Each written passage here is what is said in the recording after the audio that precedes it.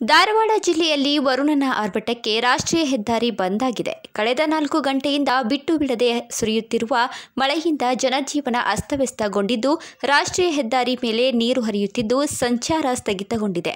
ಪುನಃ ಬೆಂಗಳೂರು ರಾಷ್ಟ್ರೀಯ ಹೆದ್ದಾರಿ ನಾಲ್ಕರ ಗಬ್ಬೂರು ಹಾಗೂ ಕುಂದಗೋಳ ಕ್ರಾಸ್ ಮೇಲೆ ನೀರು ಹರಿಯುತ್ತಿರುವುದರಿಂದ ಮೂರು ಕಿಲೋಮೀಟರ್ ವರೆಗೂ ಟ್ರಾಫಿಕ್ ಜಾಮ್ ಆಗಿ ವಾಹನಗಳು ಸಾಲು ಕಟ್ಟಿ ನಿಂತಿವೆ. ಇದರಿಂದ ವಾಹನ ಸವಾರರು ಪರದಾಡುವ ಸ್ಥಿತಿ ನಿರ್ಮಾಣವಾಗಿದೆ. ಧಾರವಾಡ ಜಿಲ್ಲೆಯ ಕುಂದಗೋಳ ಕಲಘಟಗಿ ನವಲಗುಂದ್ ಹಾಗೂ ಹುಬ್ಬಳ್ಳಿ ತಾಲೂಕಿನಲ್ಲಿ ನಿರಂತರವಾಗಿ ಮಳೆಯಾಗುತ್ತಿರುವುದರಿಂದ ಹಳ್ಳ ಕೊಳ್ಳಗಳು ತುಂಬಿ ಹರಿಯುತ್ತಿವೆ.